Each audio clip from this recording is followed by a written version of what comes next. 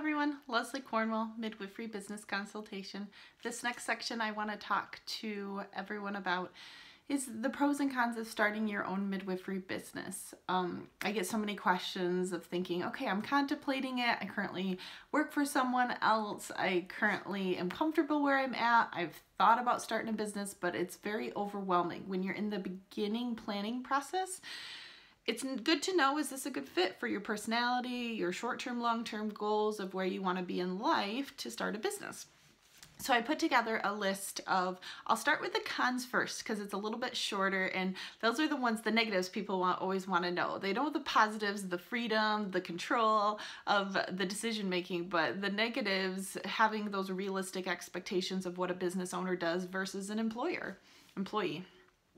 So the cons, um, you have to have the initial upfront investment. It doesn't directly have to come from your own pocket, but you have to have funding to get your business going, whether it's a loan from a bank, whether it's a business partner, an investor, um, community donations. There's a lot of ways to get your business started, um, but it does need money. If you go work for someone, you interview, you start, you get a paycheck right away. You don't have to say, okay, you owe me $5,000 to start working at this hospital. It's the opposite direction. They usually give you a sign-on bonus to start at the hospital. So, so that's a mind shift of you have to plan, you have to prepare to start a business.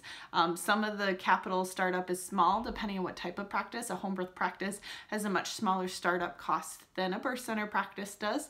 Um, a hospital practice usually has even less because you're using the supplies and equipment at the hospital to deliveries. You just need the uh, things for a prenatal visit.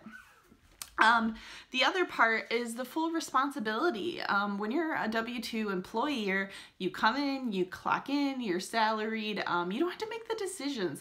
You don't have to train the receptionist. You do not have to to have a policy that needs to be updated every year. You do not have to attend all the hospital meetings, um, the financial decision making, the marketing, the budget, the um, hiring the doctors that you work with, getting the supplies restocked that need to be done, training the nurses that will support you during the birth. So there's so many aspects in the backdrop that midwives typically take for granted when you're employed.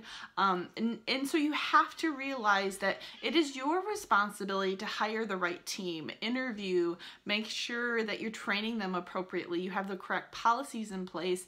Um, you have the correct resources for everybody to do their job and make sure it's being updated accordingly. So that is ultimately, and not to say you have to do it all yourself, but you're the ultimate responsibility to it all. You can hire the, the mastermind team, you can hire an office manager, you can hire medical assistant, you can hire nurses, educators, marketers, billers, the people that can delegate those things. You don't, I didn't say you were the one that directly had to do it all. You're the one that's ultimately responsible being the business owner. So the example I I give is if you get a frustrated um, a woman with your colleague at the hospital, you don't have to worry about it. There's no responsibility for you. That goes to the office manager and that's the hospital's responsibility. If it's your own private practice and a client is frustrated with care or has some concerns she wants to discuss, the business owner is ultimately the one um, if the if it's not resolved with the office manager. So just being aware that responsibility difference. Um, you are available 24-7 for your business, depending on the structure. If it's for call for birth, um, if you have a team, even if you have a team, if you're the birth center and the plumbing's not working, the lights aren't working, there's a storm coming, you're still available to help solve those challenges and problems that there may not be a policy and protocol for. Um, sometimes it's just a simple phone call with a question, clarification, but just making you aware that when you're the business owner and there's something new that comes up, you're the one they typically go to. Um, so if it's not so much as for birth um, and it's not time sensitive clinical care, so if you're doing a consultation services, they'll send you an email and you can answer it on your own time. It's usually not like a okay, I need an answer now attitudes. But you are still totally available. If something's going on with the business, you get a call for something that needs to be taken care of right away, that's you.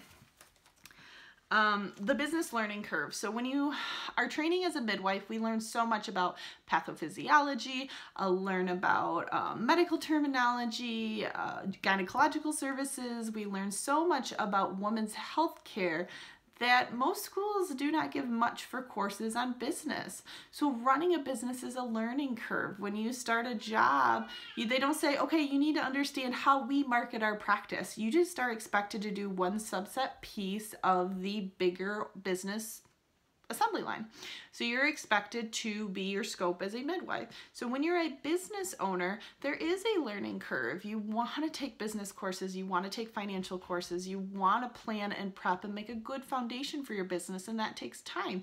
And there's a reason that most businesses the first five years fail and it has nothing to do with the drive and the passion it's that learning curve um, I've ran multiple businesses. Some are good and some are bad, but that's part of the learning curve. You grow, you learn from your mistakes. Getting past that myth that mistakes are a bad thing. Mistakes help you learn and grow and improve.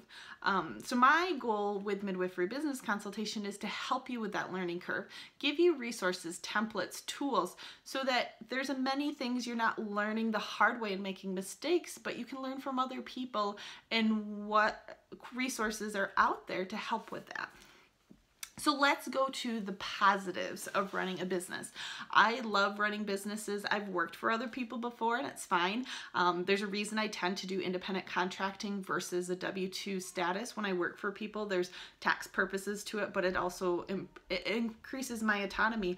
I get to choose my terms of what I'm working, what I'm doing for them, and what I want to be part of that service versus if you're hired as a salary in a scope, they kind of can change. Well, you, you, you interviewed and this is what you were told, but three months later, the structure changed. There's a partner that left abruptly. Your call schedule's completely changed. You don't have as much control when you work with somebody else of what your hours and your, your work's gonna look like. So when you start your own business, you get to choose your goal, your passion, your, your mission, if you're frustrated with a practice model at the hospital, it goes through a lot of steps before it's changed. When it's your own private practice, you have a staff meeting and it's changed next week. It's a smaller entity. You have more control of what's a priority. You can order the supplies you want. You can hire the team you want. Maybe you're in a large practice and you're not a big fan of a couple of the colleagues you have. You can't do much about it being a W-2 employee working for that organization when you are the business owner, you create your phenomenal staff team. You interview them, you decide who you get to work with. Um, you decide the structure, you get to decide what you get to charge, you get to decide. I loved it when a, a payment plan, I could decide what the payment plan would look like. I could decide what insurance companies we would accept. I could decide what's, what, um, um, cultural background and what community I would like to serve with my business. So those are really rewarding aspects of running your own practice. Um, the other big perk that people usually don't talk about, um, when you run your own business, you, you can make a lot more money than if you work for somebody else. Um, you're exchanging your time to somebody else for a salary, an hourly rate, and you're getting paid. So if you stop working, you stop getting paid. With a business, you can decide the sky is the limit how much money you want to make. You can grow and expand, you can add additional offices, you can create a birth center franchise.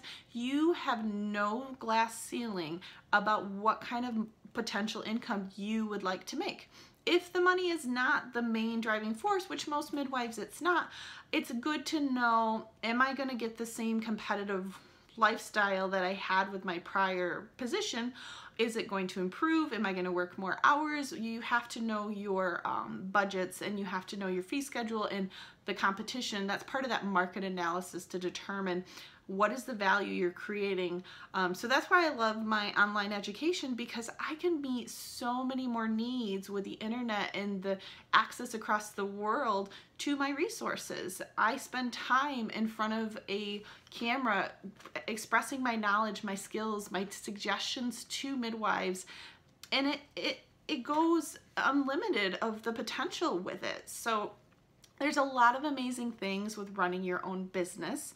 Um, there's definitely pros and cons compared to a typical W-2 job. The one that always makes me laugh the most is when people say, well, I have more security at my W-2 job. When I work for somebody else, I have a secure position. I have a, a pension they're contributing to. I'm going to retire from there. And I just, I see too many midwives that are comfortable and don't realize that that practice may close next week, that um, they may restructure if a hospital healthcare is really running tight on their budgets and if they have a residence um, a resident school come into the area or the physicians say, well, I'm in-house, I'll just do the deliveries for the midwife team anyways, th they can restructure things easily. So I really stress that having that illusion of job security, you just don't know for sure that it'll always be there. I hear too many hard stories of unplanned letting go, no good reasons, just a restructuring of the business model. Um, so having your own business private practice, you make the decisions of your security. You're the one that decides is it profitable, is it not profitable. You're the one that makes the decisions of how successful you're going to be, not the bigger organization you're working for. So those are the big tips I have about pros and cons of running your own midwifery business. I'd love to have people put in the comments um, down below their suggestions of what they found pros and cons of running their own practice and helping to support each other as midwives. Thank you.